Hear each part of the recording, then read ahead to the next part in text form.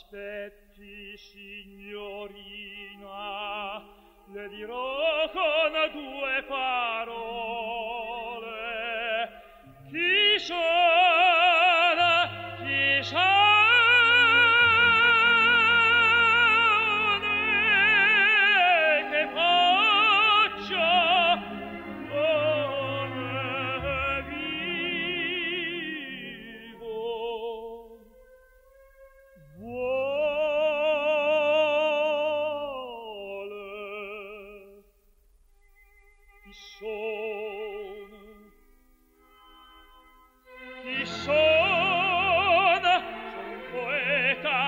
che cosa faccio? Scrivo e come vivo? Vivo.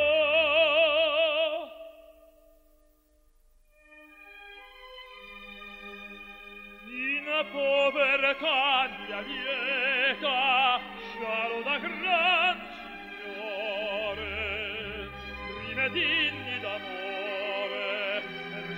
ie vergine e per costelli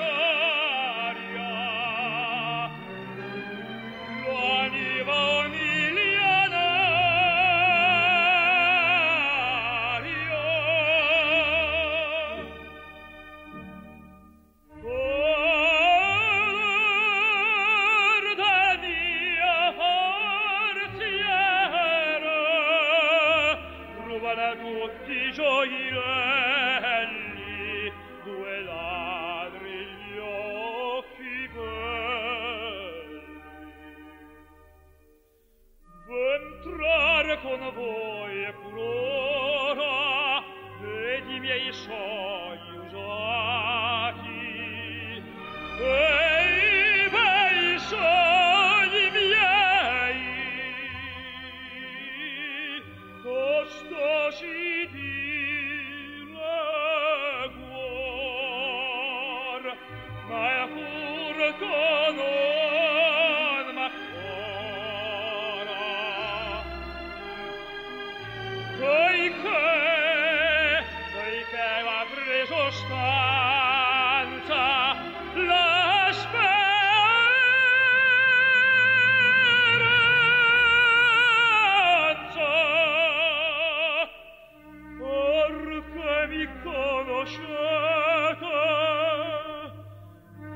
love.